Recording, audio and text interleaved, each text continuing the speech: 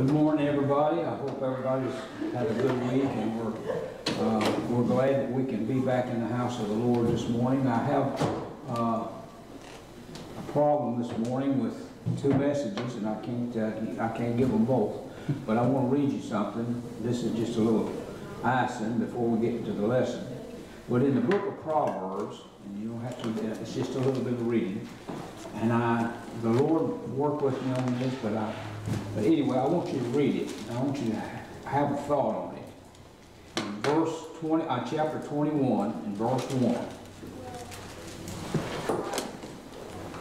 The, the proverb says uh, uh, in verse 1, the king's heart is in the hand of the Lord. Amen. And, uh, and when I seen this, I said, yeah, I remember when Israel was in captivity, old Pharaoh was in God's hand and he didn't have enough sense to know it. But he says, as the rivers of water, he turneth it whithersoever he will. Amen. And so I want you to, I want you to think upon this uh, as you as you go next week, and as you the things that are going on in this world, and the things that are happening. We uh, sometimes think, well, we can't do a thing in this world about it.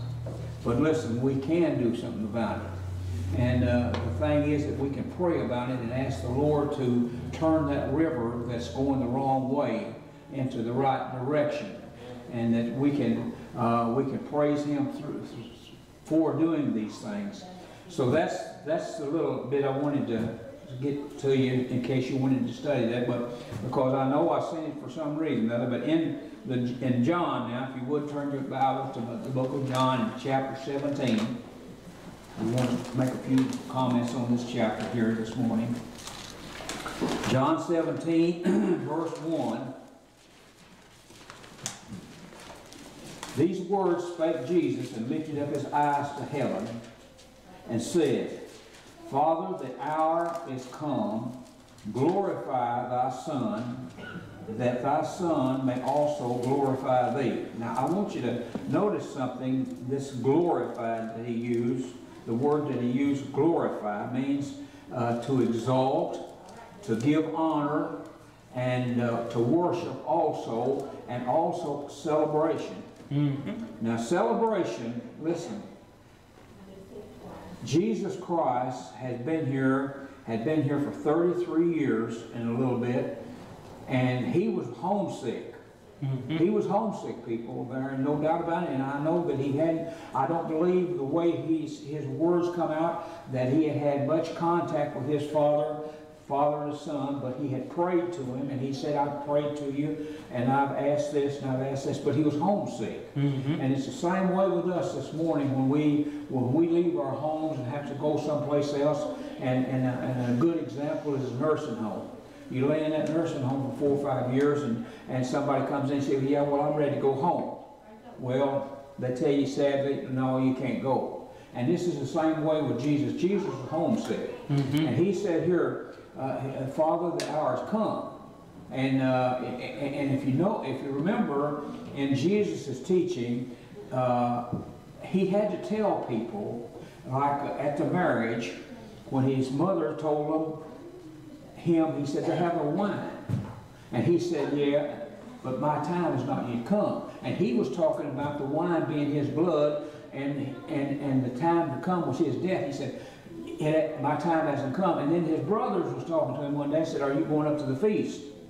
He said, no, I don't go right now. He said, you guys go ahead because my time has not yet come. And so everything was working around one thing, and that was his time to come, uh, to go uh, to the cross of Calvary and to, uh, and to get back in fellowship or to get back in, in harmony or to get back in place with his Father because he was looking so much forward to that. And he, he knew before he left what, what great things that he was sharing with the Father, all of the things that he was sharing, and he had to leave all of that. And he, here on earth, knowing and looking back in his in his memory, remember some of those good times and those great times and, and perfect peace and perfect harmony with the Father, and here he is out here in the briar patch, and holler, they're hollering and squalling at him and telling him and cussing him and spitting on him and all this. And it's, it's a complete flip over change. And him also homesick as he could be. Right. And knowing that he had to come to that cross, and he knew when he, he, he knew when he come to that cross that he had to die, but the worst thing about it was he had to have all of the sins of the world upon him. And he, you know, in his agony and in his crying, he cried out, Father, why hast thou forsaken me? And God had not forsaken him, but God could not look upon that sin Right. that was on his shoulders, on his back, that he was that he was carrying with him because people there was no other way to get those sins on anything else. They tried the animals and they tried every other way, the the, the statues and all of this. And listen, he was the only way. Amen. And he knew this, and how sad, how, how awful, and we so many times uh, don't even give him a second thought about what he did for us. But listen, people, he went through, he went through something that, that no man could do and, and, and survive. But he did it for our honor and, uh, for his honor and God's honor and glory. And here, this is why he is coming back to Jesus, uh, to God now, and he's, he says, Father, the hour is come. Amen. Glorify thy Son. And this, he says, give honor to him. And he did. He did. At the cross, when Jesus died, he defeated the devil.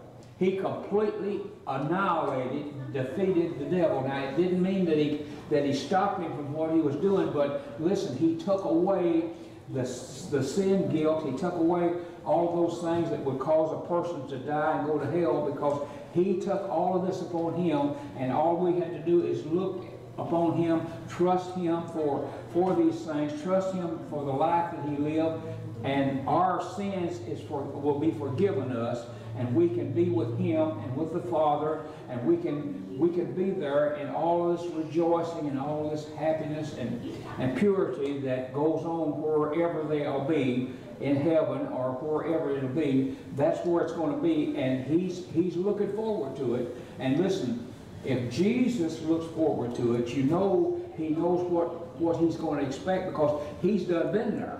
He's done been there and he's enjoyed the bliss of being with the Father. And so he's praying now and he's saying to the to his Father, uh, the, the, the, the time the times at hand, and, and, and that you also may glorify thee.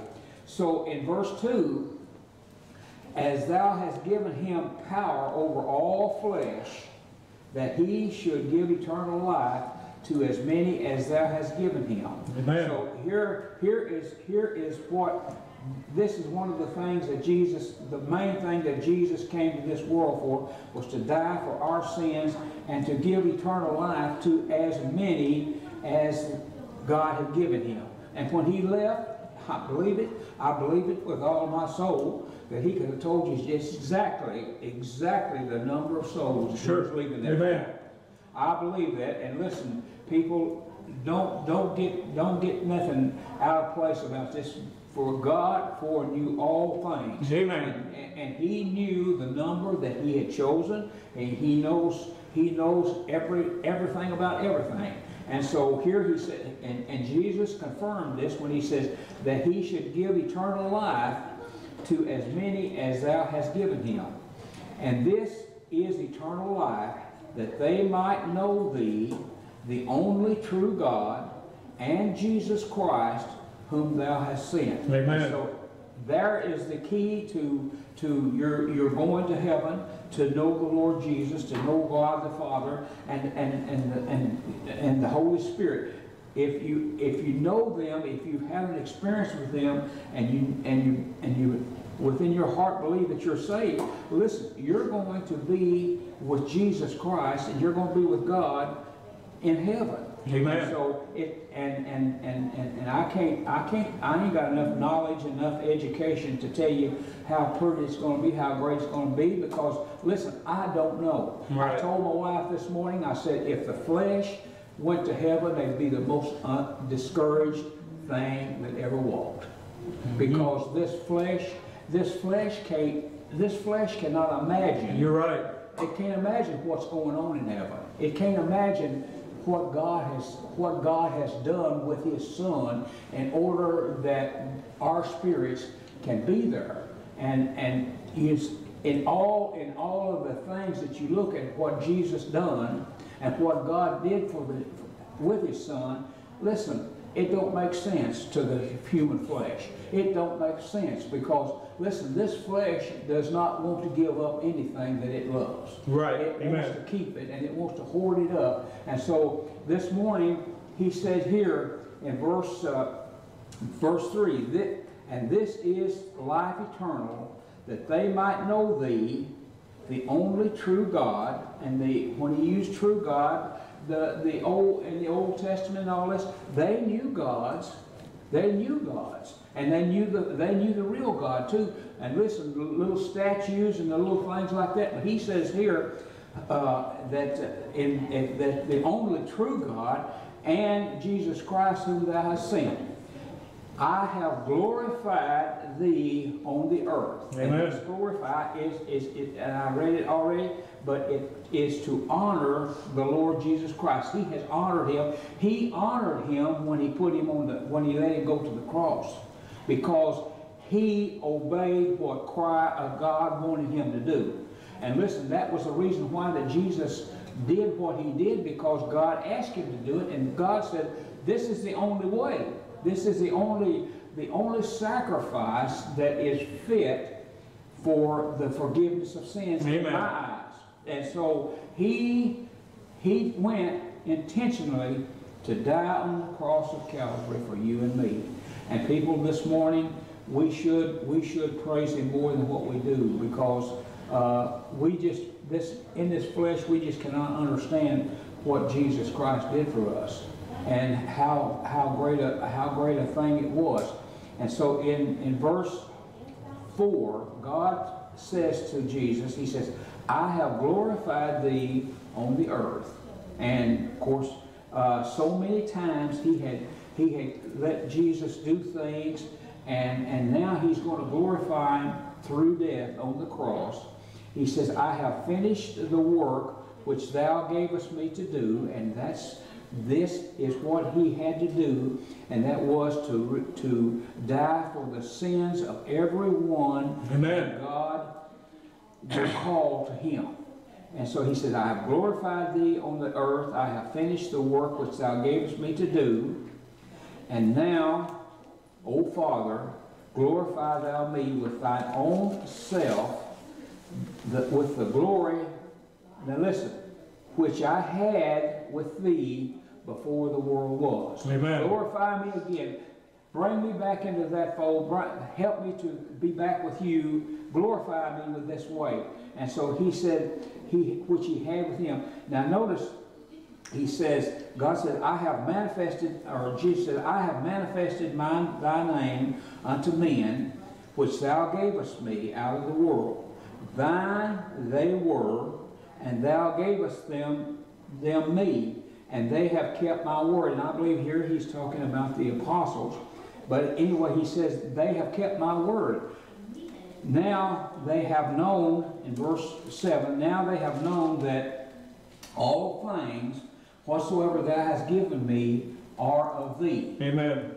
And so this morning, we as God's people need to identify and be able to identify, and the only way that we can identify is spiritually the things that God is giving to us, the things that God lets us enjoy, the things that He lets us do for Him. And listen, the things that He lets us do for Him, we ought to shout to the top of Amen. the building that we're able and that we're qualified and that we're that He's pleased that we can do these things. If it's no more than give a, a, a, a poor man a drink of water.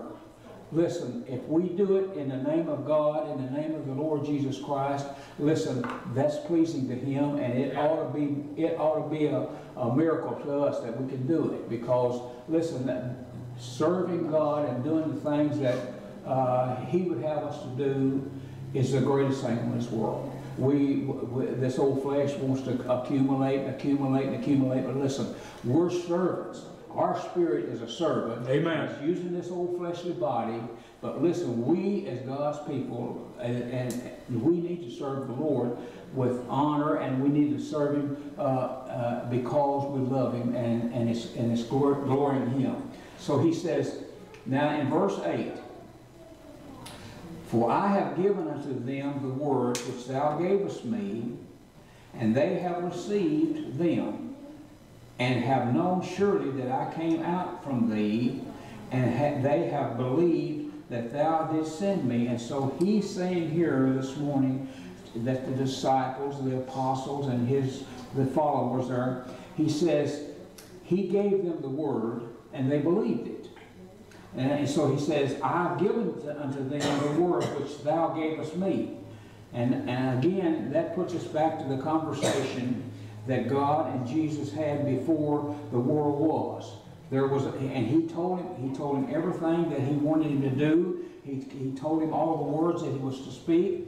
And listen, and he says, I, for I have given unto them the words which thou gavest me, and they have received them, and I and have known surely that I came out from thee, and they have believed that thou didst send me. Now listen, he couldn't have, I don't believe Jesus could have said this earlier in his life, or early in his last three years, because Peter and them had to had to be saved and believe this thing during Jesus' ministry here on earth. And so, but he says they've done it. And, and, and, and Peter confessed and, and all the others they confessed that, that he is the he is the Christ. And he says, now notice what he does for them. He says in verse 9, I pray for them, I pray not for the world, but for them which thou hast given me, for they are thine. And Amen. when he says, I pray not for the world, the things that the things that are of the world and and and and, and the things that uh, are against God and against uh, what Jesus said, he said, I don't pray for them. But he says, I pray for those that you've given me. And listen, here's the here's the pretty part. And all mine are thine, and thine are mine. I am glorified in them. Amen. And he says here, and now I am no more in the world, but these are in the world that he has that he is that has received him. And I come to thee, Holy Father, keep thou thine own name, those whom thou hast given me, that listen, that they may be one as we are. While I was with them in the world, I kept them in thy name. Those that thou gavest me, I have kept, and none of them is lost but the son of perdition, that the scriptures might be fulfilled. And now come I to thee, and these things I speak in the world, that they might have my joy, joy fulfilled in them. I have given them thy word, and the word hath hate, and the world hath hated them, because they are not of the world, even as I am not of the world. I, now listen, I pray not that thou shouldest take them out of the world, but thou should, shouldst keep us them from evil. And so I wanted to read it, and I know it's here somewhere.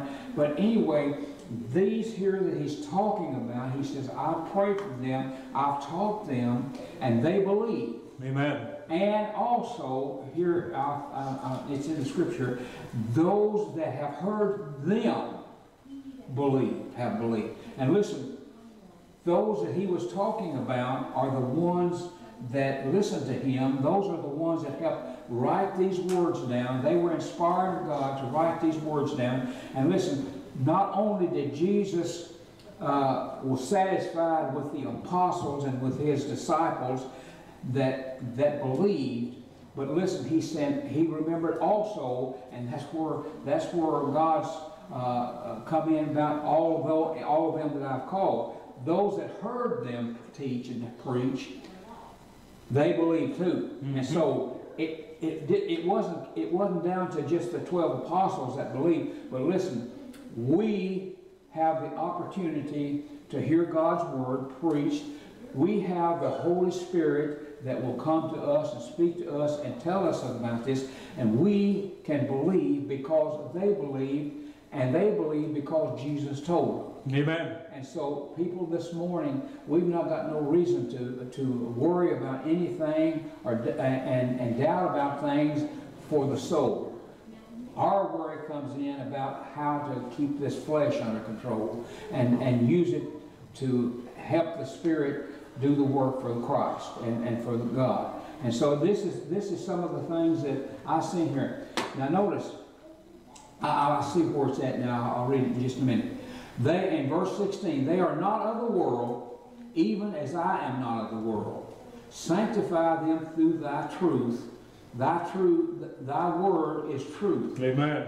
Now listen, as thou hast sent me into the world, even so I have sent them into the world. There's where your, uh, all your missionaries and all your people that goes to other worlds and all and countries, that's what they're doing. And for their sakes I sanctified myself, that they also might be sanctified through the truth.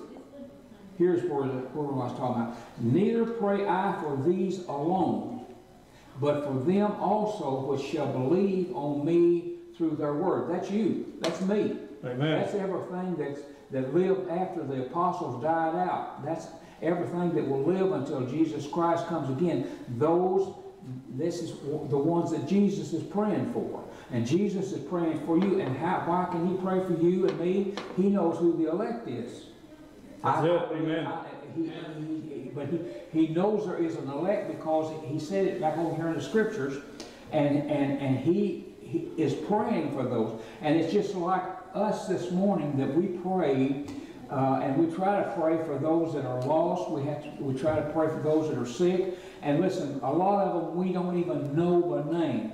But listen, we can pray for them and ask God to, He knows them, and, and, and ask Him to help them and to be with them. And it's the same way here with Jesus when He was praying, and He prayed uh, for these, not, He didn't pray for them alone, but He for them also which shall believe on me through their word. And then on verse 21, that they all may be one as thou, Father, art in me, and I in thee and that they also may be one in us, that the world may believe that thou hast sent me. Amen. And so again, again, our belief and our trust in the Lord Jesus Christ as the, the true, the true Christ, we believe it also honors him, it also glorifies him for us believing in him, and then he can he can tur- turn around and and uh, glorify the Father because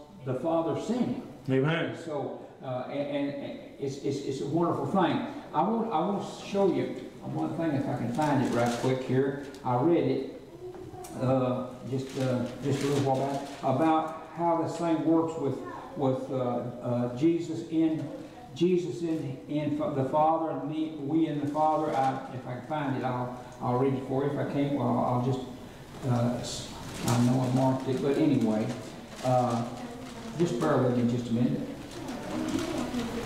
and I'll uh, I'll try to find it. Uh, John 14, 20, I think it's 14, yeah, okay. 14, 20.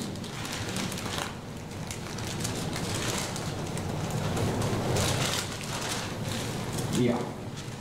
At that day, ye shall know that I am in my Father. That's in John 14, 20. And ye in me, and I in you. Amen. Now listen, that puts you to the place where that you cannot do anything on your own. You're not your own, you're bought with a price, Amen. the scripture says.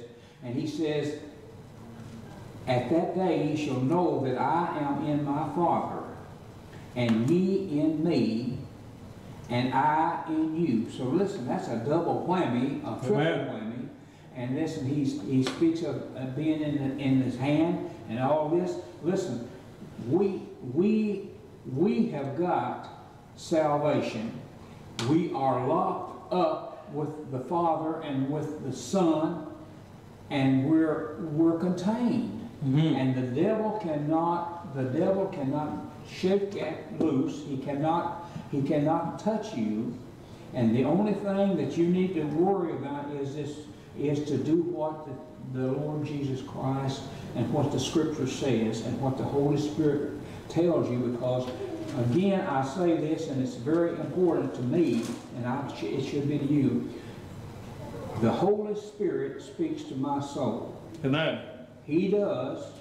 And a lot of people, oh, you're, you're this, you're that. But listen, I know what I know. And I know that He, through, the, through Jesus Christ, he, he speaks to me because, listen, God said to the disciples, I go away. And that was when He was fixing to be crucified. He said, I go away. And is it, and it is expedient for you that I go away.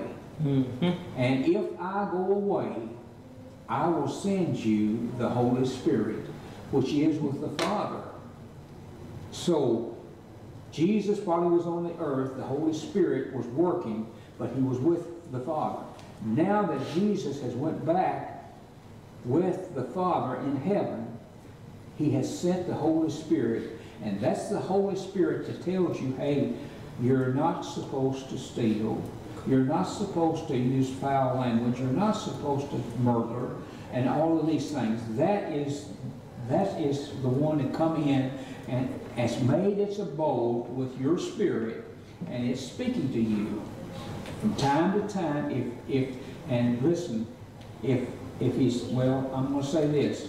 He speaks to me that way, and I, if he doesn't, if he doesn't speak to you in that way, listen, you need to get a little bit closer to the Lord and pray, because it, it, it, it's that way with me, and so I, I, I'm not, I'm not no different than anybody else.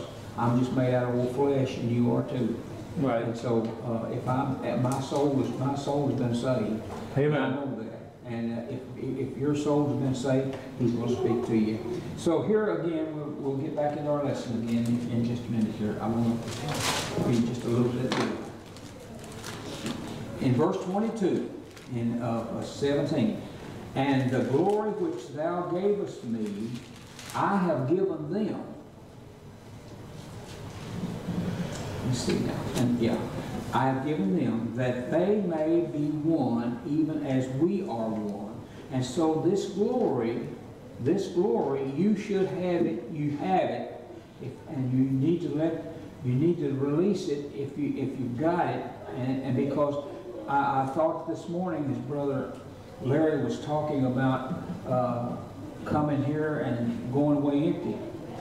A lot of times, a lot of times when we come, we have our bucket, but the lid is on it. And we go away just as dry as a woman at the well when she, she left her bucket.